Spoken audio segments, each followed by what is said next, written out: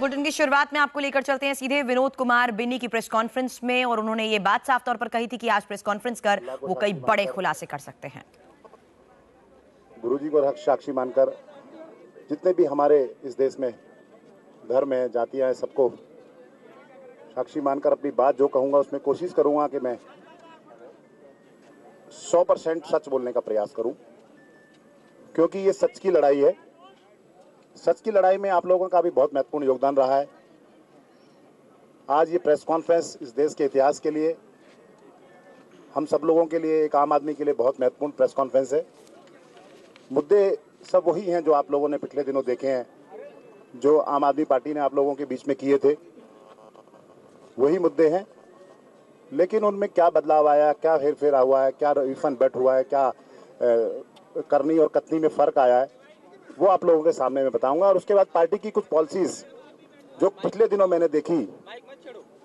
पिछले दिनों में जो मैंने देखी, पार्टी के अंदर की जो कार्यशैली है, उसको देखा। वो आप सब लोगों के बीच में बताऊँ। उसके बाद जितने सवाल आप लोगों के होंगे, पूरी ईमानदारी, सच्चाई से प्रयास करूँगा कि उनका जवाब दे पाऊँ आप लोगों को। क्योंकि 10 बजे का मैंने आपसे प्रॉमिस किया था तो मैं बिल्कुल ठीक टाइम से आप लोगों के बीच में हूँ। सबसे पहला सवाल है कि आम आदमी पार्टी बनी क्यों? आम आदमी पार्टी किसी को मुख्यमंत्री बनाने के लिए किसी को एमएलए बनाने के लिए किसी को एमपी बनाने के लिए नहीं बनी। आम आदमी पार्टी देश की जनता ने पिछले पन, दस पंद्रह वर्षों में दिल्ली में भ्रष्टाचार देश में भ्रष्टाचार महिला उत्पीड़न और जितने भी तमाम मुद्दे थे उन मुद्दों से परेशान होकर एक आंदोलन चला। उस आंदोलन से निकल के पार्टी बनी और उसमें अन्ना जी के आंदोलन का बहुत महत्वपूर्ण भूमिका रही इस देश में। आम आदमी ने इन्हीं कारणों से की वजह से दिल्ली में विधानसभा चुनाव में बहुत अच्छी बढ़त भी हासिल की और दिल्ली सरकार ने बनने से पूर्व, सरकार बनते समय सरकार ने जो वादे किए थे, वे वादे लेकर सरकार की कथनी और करनी में फ़र्क आ गया। वो क्या फ़र्क है? वो आप लोगों के बीच में अभी मैं रखने चाह रहा हूँ। पहला पान मुद्दा है हमारा पानी का। चुनाव प्रचार के दौरान पार्टी ने और मैंने प्रत्येक मंच से 700 लीटर स्वच्छ पानी हर घर को मुफ़्त पहुँचाने का वादा किया था। 700 लीटर से ऊपर पानी का बिल देने की बात की गई थी। किंतु मैनिफेस्टो बनाते समय बड़ी चतुराई से इसमें 701 लीटर पानी पानी होते ही पूरे पैसे लेने की बात जोड़ दी गई।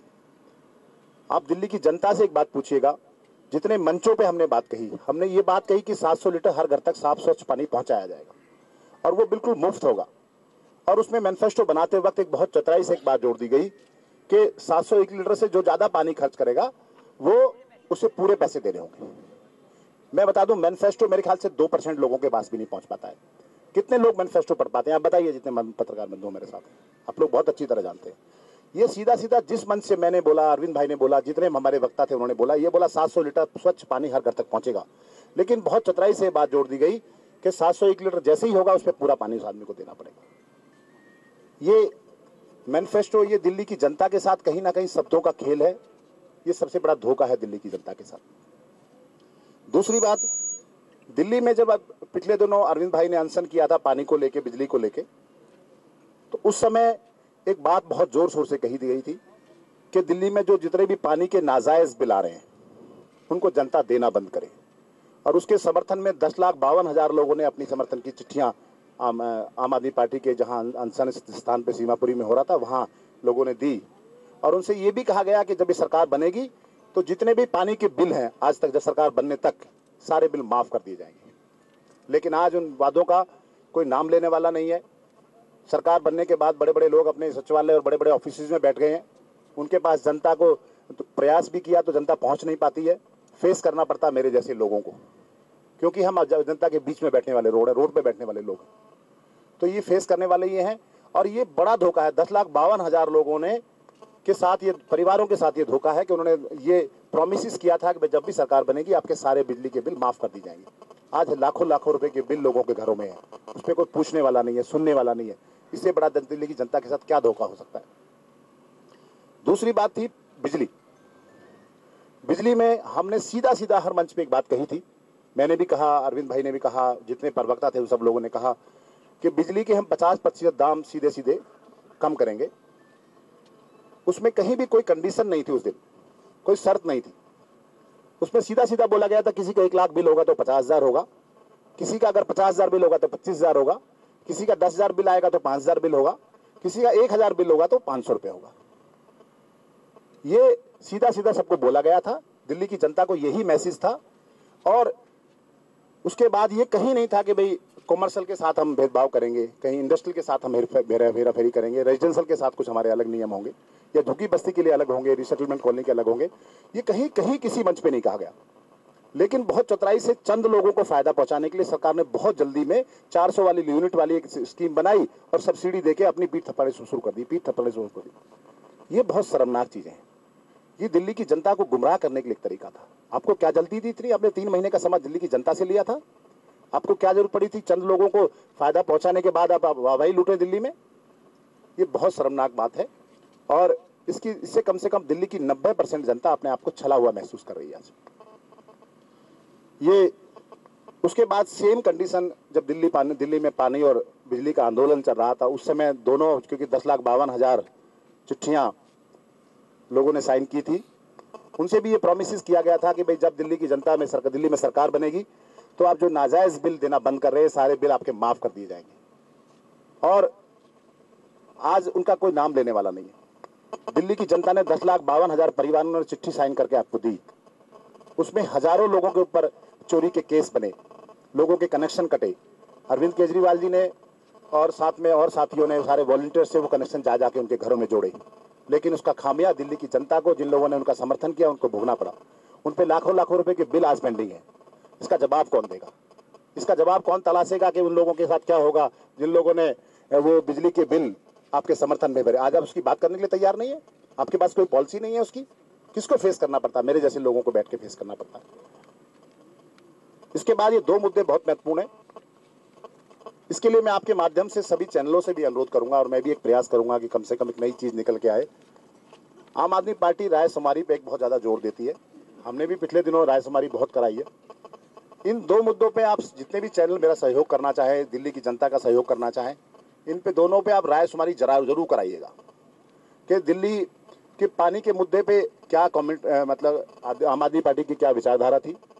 बिजली के बेले को बिल को के आदमी ने, आम आदमी पार्टी ने आपके बारे में क्या कहा था? और दिल्ली की जनता से पूछिएगा, आप जो भी तरीका आप अपना पाए, पूछ के और जनता के सामने रखिएगा सारी बातें, कि ये बात कही थी कि नहीं कही थी सात सौ लीटर हर घर तक स्वच्छ, साफ़ पानी पहुंचेगा। ये बात कही थी कि नहीं कही थी कि बिल्ली, बिजली आंदोलन के बाद जो लोग हमारा सहयोग करेंगे, उनका बिल माफ़ कर दिया जाएगा। आप ये बात कही थी कि नहीं कही थी कि जो लोग बिजली आंदोलन में हमारा सहयोग करेंगे, उनके बिल सरकार बनने के बाद माफ़ कर दी जाएँगे। चोरी के जितने केस हैं, वो वापस ले ले जाएँगे। ये बात कही थी कि नहीं कही थी? ये पूछने का सवाल है। रायशुमारी कराइएगा अगर मैं झूठ बोल रहा हूँ। दिल्ली की जनता ये कहती है कि मैं झूठ बोल रहा हूँ। या हमारे सीनियर नेता आम आदमी पार्टी के जिन लोगों ने वादा किया था, वो झूठ बोल रहे हैं। जो भी इसमें झूठा हो, उसको अपने पद को छोड़ना होगा। चाहे वो विनोद कुमार बिन्नी हो, चाहे अरविंद केजरीवाल हो। उसको अपने पद से त्याग पत्र देना होगा। दिल्ली की जनता किसी को भी झूठे वादों पर माफ़ नहीं करने वाली है। अगर मैंने झूठ बोला है मैं आप मन से झूठ बोल रहा हूँ ये बातें अगर मैं आपके सामने रख रहा हूँ तो दिल्ली की जनता से आप रायशुमारी कराइए। करने के बाद में ये पूछिए कि भाई ये वादे किए थे कि नहीं किए थे आम आदमी पार्टी ने? आज आम आदमी पार्टी के वादे क्यों बदल गए? इस पर रायशुमारी होनी बहुत ज़रूरी है क्योंकि जनता की राय आनी बहुत ज़रूरी है। एक बहुत बड़ा मुद्दा था जिसपे ये पार्टी बनी अन्ना जी वाला जनलोकपाल जनलोकपाल जिस दिन बनाने की बात ही तो, तो उसमें एक टाइम बाउंड प्रोग्राम बनाया गया था। यह बनाया गया कि सरकार बनने के चौदह दिन के बाद, उनतीस तारीख को दिल्ली में जन लोकपाल लागू कानून पास कर दिया जाएगा। उनतीस नवंबर वो डेट थी। मैं मानता हूँ कि सरकार 28 तारीख को बनी। उसके बाद ये 15 तारीख से पहले जो कल डेट गई है, क्योंकि कल उन्नीस, आज उन्नीस दिन हो गए हैं, आज तक उनके वादे के अनुसार ये कानून बन जाना चाहिए क्यों नहीं बना? इसके पीछे मनसा क्या है आपकी? ये जनता के सामने आपको स्पष्ट करना होगा। ये वादे अगर आपने पंद्रह दिन का प्रोमिस किया था तो क्या आपके दिनों का सीमा समय सीमा जो निर्धारित करते हैं, उसकी कोई वैल्यू नहीं है? आप जनता को जो मर्ज़ी स्टेटमेंट दे देते हैं। आप ये बोल देते हैं पंद्रह दिन में हम करेंगे तो पंद्रह दिन कहाँ गए आपके? आपने तो डेट निश्चित की। डेट निश्चित करने के बाद भी हम मानते हैं, दिल्ली की जनता मानती है चलो भाई, पंद्रह दिन लेट सरकार बनी, अट्ठाईस तारीख को सरकार बनी थी। तो आपको 10 तारीख से पहले 12 तारीख 11 तारीख में सब वो कानून बन जाना चाहिए था।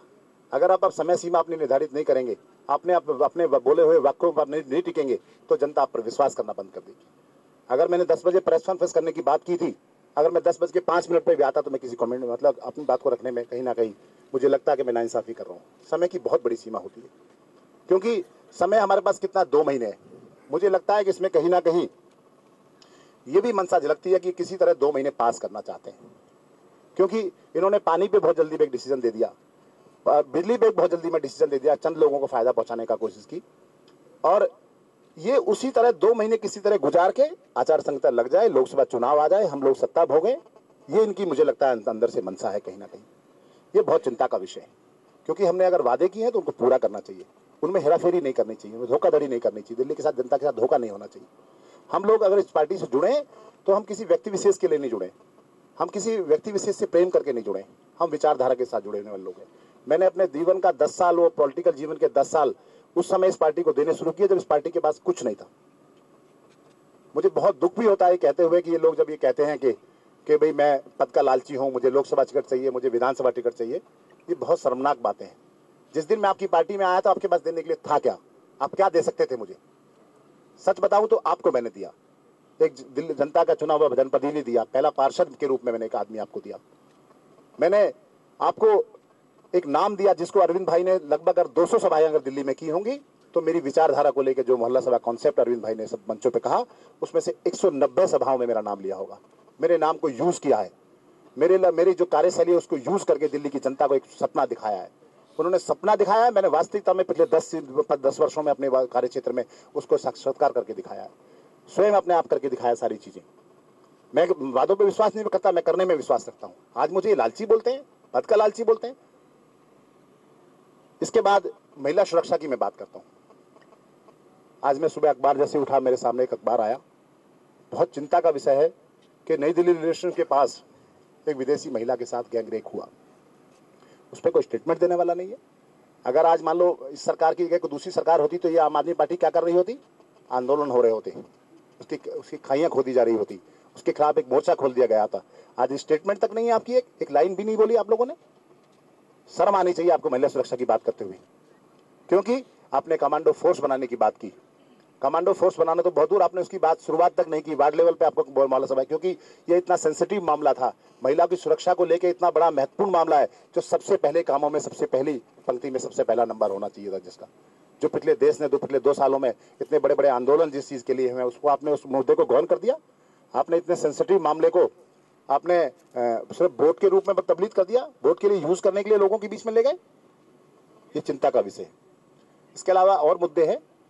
आपने चुनाव लड़ते लड़ते ठेकेदार प्रथा की बात की थी, उसमें सरकारी स्कूलों से लेके हॉस्पिटल से लेके, जितने भी एमसीडी से लेके, दिल्ली सरकार के तहत जितने भी ठेकेदार प्रथा के तहत जो लोग काम कर रहे हैं, उनको आपने बोला था कि हम तुरंत उनको पक्का करेंगे। आज लोग आपके सचिवालय में आपसे मिलने जाते हैं, आपके पास समय नहीं है मिलने का। कैसा वादा आपने किया? जनता के साथ आपके क्या करनी और कथनी में फ़र्क नहीं आया क्या? ये चिंता का विषय है। आपने हॉस्पिटल्स को लेकर यही प्रोमिस किया हम जिस दिन सरकार बनेगी, हम पहले दिन से उसकी व्यवस्था सुधारेंगे। आज हॉस्पिटल में आप चले जाइए। कहीं दवाई नहीं है, कहीं डॉक्टर नहीं है, कोई जाँच जाने वाला नहीं है। आप मीडिया को बुलाते हैं, अपने साथ फ़ोटो खिंचवाते हैं, घर जाके सो जाते हैं। ऐसे देश चलेगा क्या? ये वास्तविकता है क्या इस देश की? आप कहीं रेड करने जाते हैं तो पहले मीडिया को अरेंज करते हैं। क्यों करते हैं? क्योंकि आपको पब्लिसिटी चाहिए। आप ड्रामे में विश्वास रखने वाले लोग हैं। एक बहुत बड़ा मुद्दा है इस देश के लिए, इस जनता के लिए। जिसे मैंने साठ गांठ का नाम दिया सब लोग समझते होंगे साठ गांठ क्या होता है। चुनाव के दौरान हमने कसम ज, कसम खाकर जनता को विश्वास दिलाया था कि किसी भी राजनीतिक पार्टी से न समर्थन लेंगे न देंगे। लेकिन पर्दे के पीछे बहुत चतुराई से चंद लोगों ने मिलकर सरकार बनाने का जाल बुना। मिलाकर उसका ये सामने रिज़ल्ट आया है कि दिल्ली की पूर्व मुख्यमंत्री मंत्री और भ्रष्ट नेता भ्रष्ट कर्मचारियों के खिलाफ आपने आज तक एक आदेश तक नहीं दिया है कि इनकी जाँच की जाए। आपने एक आदेश तक नहीं दिया कि जो लोग जिन पे आपने, जिस मुद्दों पे आपने, जिस मुद्दे पे आपने आठों के पीछे लगा लगा के पोस्टर पूरी दिल्ली को ये बताया कि दिल्ली की मुख्यमंत्री भ्रष्टाचारी है, दिल्ली के मंत्री भ्रष्टाचारी हैं। आज आप उनके खिलाफ सरकार बनने की उन्नीस दिन भी बाद भी आपने एक भी इंक्वायरी तक उनके खिलाफ नहीं की आपने तो हर मंच पे कहा था मेरे पास पर्याप्त सबूत है भ्रष्टाचार के। पिछले दिनों आपने जब विधानसभा सत्र चालू हुआ तो मैं उस सत्र में मौजूद था। आपने डॉक्टर हर्षवर्धन से एक लाइन कही जो बहुत चिंता का विषय है। आपने कहा अगर आपके पास मुख्यमंत्री के खिलाफ कोई वो, मुकदमे मतलब आपके पास कुछ सबूत है तो आप दीजिए हम उसकी जाँच करेंगे। इसका मतलब आज से पहले जितने वादे आपने मंच पे खड़े होकर किए क्या वो सब झूठे थे? आपके पास कोई पर्याप्त सबूत नहीं था? आपके पास सबूत नहीं था तो आपको किसने अधिकार दिया किसी को भ्रष्टाचारी कहने का? ये बड़ा सवाल है। अगर आपके पास सबूत है तो आप जाँच क्यों नहीं करते? और अगर आपके पास सबूत, आप हर्षवर्धन से मांगते हैं हाउस के अंदर, क्योंकि मिनट्स में मौजूद है।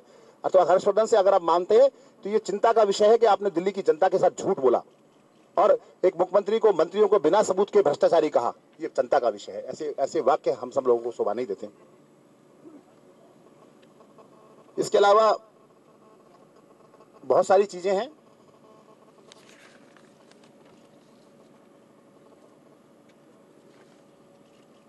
सूत्र बताते हैं कि पूर्वी दिल्ली के सांसद संदीप दीक्षित से अरविंद केजरीवाल की बहुत नजदीकियाँ हैं, बहुत घनिष्ठ मित्रता है। ये पूरे देश ने देखा है पिछले दिनों। सारे सूत्र बताते हैं और मैं भी स्वयं इस बात का बिल्कुल अच्छी तरह जानता हूँ। इसी का परिणाम है कि आज जितने भी महत्वपूर्ण फैसले आम आदमी पार्टी में हो रहे हैं, उसमें कांग्रेस नेताओं के द्वारा दिए गए आदेश की तरह है। वो कहीं ना कहीं कांग्रेस के वो लोग आदेश कर रहे हैं, उसका पालन किया जा रहा है आम आदमी पार्टी आज जो साठगांठ पिछले पर्दे के पीछे हुई है, वो इस बात को साबित करती है कि कहीं ना कहीं ये लोग मिले हुए इसे पता चलता है कि जो पहले दिन दिल्ली की जनता को ये बोला गया था कि हम दिल्ली की सरकार बनने के छह महीने के अंदर उन भ्रष्टाचारियों को जेल के अंदर भेज देंगे तिहाड़ जेल में यूज़, नाम यूज़ किया गया। आज वो विषय भ्रष्टाचार का गौन हो गया है कहीं कहीं लुप्त हो गया है। ये बड़ा चिंता का विषय है। कुछ बातें पार्टी के लिए, क्योंकि मैं पीछे स्क्रीनिंग कमेटी में था और दिल्ली की जनता के साथ जो धोखा हुआ, जो एक हाइट हाई प्रोफ़ाइल ड्रामा हुआ, वो आप लोगों के बीच में मैं ज़रूर शेयर करना चाहता हूँ। क्योंकि मैं स्क्रीनिंग कमेटी में था, मैंने सब अपने सामने सब चीज़ें देखी हैं। इस बात को बताने से पहले एक दो चीज़ें और बता दूँ मैं आपको। हमारे तमाम मंत्रियों ने एमपीओ ने, मुख्यमंत्रियों ने एक बात कही थी कि हम ना गाड़ी लेंगे, ना रेड, लाल बत्ती की गाड़ियाँ लेंगे, ना बड़े बड़े बंगले लेंगे। कि दुर्भाग्य की बात है कि सारे मंत्रियों ने वीआईपी नंबर्स की गाड़ी आज वो चला रहे हैं और अधिकार के क्षेत्र मांगते हैं, जबकि उन्होंने एफिडेविट दिया कि हम लाल बत्ती की गाड़ियाँ वीआईपी गाड़ियों की नंबर वीआईपी कल्चर के हम खिलाफ हैं। तो वीआईपी कल्चर के खिलाफ है तो आप वीआईपी नंबर गाड़ी पे क्यों यूज़ कर रहे हैं गाड़ी? आपने छोटी गाड़ी की जगह, बड़ी गाड़ियाँ क्यों यूज़ की? ये भी चिंता का विषय है। अरविंद केजरीवाल जी ने जो मुख्यमंत्री रहते रहते दस बड़े बेडरूम्स का जो घर चिन्हित किया था अपने लिए, अगर जनता उस पर विरोध ना करती तो क्या मुख्यमंत्री उस पर ना रह रहे होते? निश्चित रह रहे होते, उनकी भी इच्छाएँ हैं, मनो महत्वाकांक्षाएँ हैं, उनका इच्छा थे कि मैं बड़े बंगले में रहूँ, लेकिन उसका रूप बदल दिया। उन्होंने कहा कि जिसमें सीएम रहती, उसमें ना रह के अलग से एक फ्लैट के नाम पे एक बड़ा बंगला ले लूँगा। लेकिन जनता ने विरोध किया तो उसको, उनको पीछे हटना पड़ा, अपना पीछे खींचना पड़ा सब चीज़ों को। और बाकी मंत्रियों ने जो जो फे मेवार फ़ेज़ टू में कुछ मंत्रियाँ रह रहे हैं, कुछ और लोग रह रहे हैं, उन्होंने भी बड़े बड़े चार चार फ्लैट के अपने लेके ऑफ़िस और घर बना लिए। विधानसभा चुनाव को लेके कुछ बातें मैं आपसे करना चाहता हूँ, क्योंकि मैं पिछले दिनों रहा। विधानसभा चुनाव जब कट कट का जब बंटवारा हुआ था, उसमें बहुत बड़ा भ्रष्टाचार हुआ। जो विधानसभा के टिकट पिछले दिनों बटे, उसमें बड़े भ्रष्टाचार हुए। भ्रष्टाचार की परिभाषा दो तरह होती है। एक परिभाषा होती है कि सीधे सीधे पैसे लेना देना, किसी को देना, किसी को रिश्वत लेना। एक होता है किसी के अधिकारों का का हरण करना। किसी के अधिकारों को छीन के किसी और को देना। यह भी एक अपने आप में भ्रष्टाचार है। और मेरे ख्याल से मैं जानता हूँ कि पैसे लेने देने ज़्यादा आदमी का किसी का अधिकार छीनना, किसी का, किसी की चीज़ों को छीन के किसी और को देना, ये बड़ा भ्रष्टाचार है। इसमें जब लक्ष्मी नगर सीट की जो स्क्रीनिंग कमेटी की मीटिंग हुई थी तो उसमें यह तय था कि विनोद कुमार बिन्नी वहाँ से चुनाव लड़ेगा। यह तय था कि पटपटगंज से मनीष सिसोदिया चुनाव लड़ेगा। यह तय था कि आरकेपुरम से साजिया में चुनाव लड़ेगी। यह तय था कि बाबरपुर से हमारे गोपाल राय जी चुनाव लड़ेंगे। यह तय था कि मालवी नगर से सोमशेखर जी चुनाव लड़ेंगे। तो फिर ड्रामा क्यों? मैंने स्वयं, आप विश्वास कीजिएगा, मैंने कभी भी मैं चुनाव लड़ने का इच्छुक नहीं था। अरविंद केजरीवाल जी ने मुझे अपने घर बुलाया। घर बुलाने के बोला कि भाई आपको चुनाव लड़ना होगा, क्योंकि अगर आप लोग चुनाव नहीं लड़ेंगे तो फिर आप चुनाव पार्टी कैसे लड़ेगी? हम लोग आगे कैसे जाएँगे? आपको इस दिल्ली से लोकसभा चुनाव भी लड़ना है, इसलिए आप इस दिल्ली से कोई सीट देख लीजिए जहाँ से ठीक लगे और आपका हम फाइनल कर देंगे। मैंने उनको मना किया अरविंद भाई, कि मेरा वहाँ कोई परिचय नहीं है, मेरी कोई जान पहचान नहीं है, मेरे लिए ऐसे मान लो जैसे मैं ज़ीरो से शुरू करने वाला विषय। उन्होंने कहा, आपके पास थोड़ा एक्सपीरियंस है, बाकी लोगों के मुकाबले आप लड़िए। मैंने उनकी पार्टी की बात को, उनकी बात को मानते हुए उस, उनका प्रस्ताव स्वीकार किया और मैंने, उन्होंने मुझे स्वयं, मनीष सिसोदिया जी ने स्वयं मुझे सौ साइन करा के अपने हाथ से दिए।